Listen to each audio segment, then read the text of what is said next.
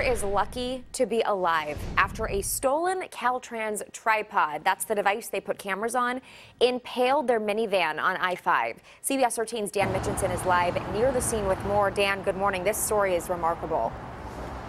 Yeah, yeah, good morning. I mean, you look at this, and it's about nine feet tall, and what they had to do was get that tripod up and over there.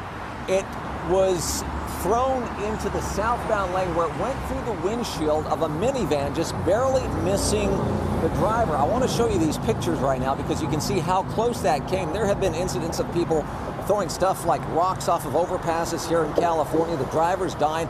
The driver was lucky she was just shaken after the CHP tells us a 32 year old transient grabbed that tripod belonging to Caltrans, hurled it off the overpass, and it did go threw that front windshield as the car was heading on Interstate 5 South, just missing the driver. Investigators were able to watch some surveillance video uh, from a camera that's nearby here, and in just a few hours later, identified the person they say through that tripod.